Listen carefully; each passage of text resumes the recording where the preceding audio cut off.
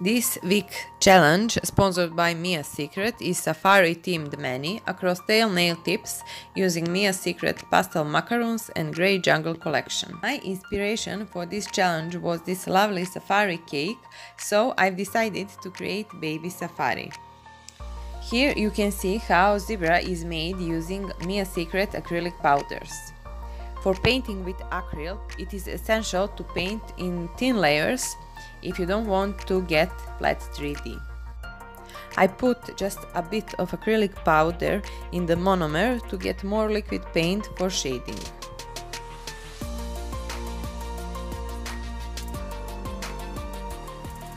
After drawing all zebra stripes and painting the background, I put uh, top coat over it and in the end I have used some gel to emphasize outlines. The second tip is for a baby leopard. I've used Mia Secret Orange Blossom for the base, Jungle and Zebra for the eyes. Strawberry cream for the nose and bunny for the leopard spots.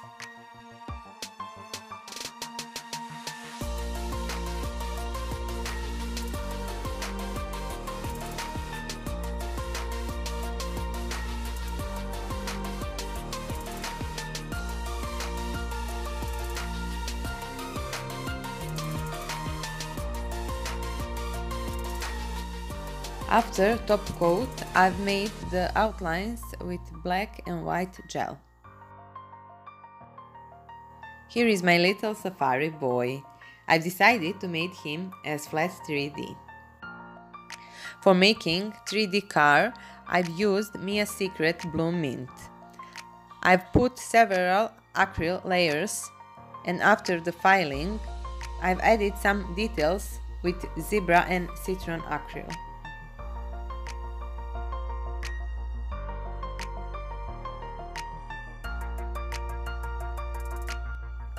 My boy is wearing a jungle t-shirt and driving his car.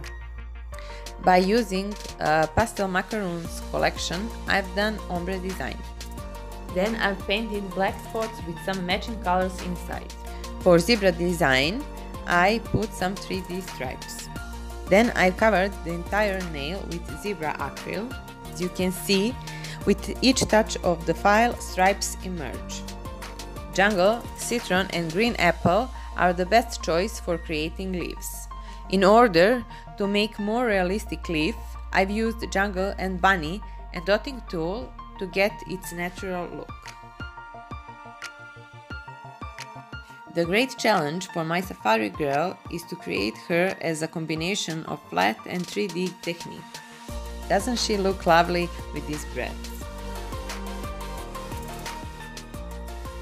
I made 3D binoculars with epoxy acrylic. Her 3D arms are made with a citron and orange blossom combination. In the end, I put all it together. After painting a giraffe's body, I made its 3D head with cute ears and nose. For the end, giraffes got its spots. I have used Mia Secret uh, pastel macarons collection to imitate a wooden guide post.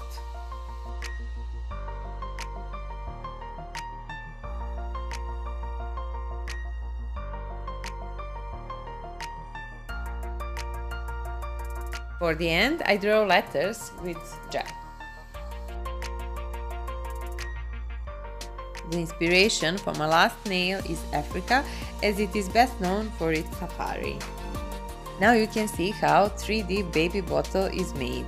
After making it of acrylic, I have filed it to define its shape and added leopard spot. Well, the baby safari wouldn't be complete without a pacifier which I've attached to the baby zebra.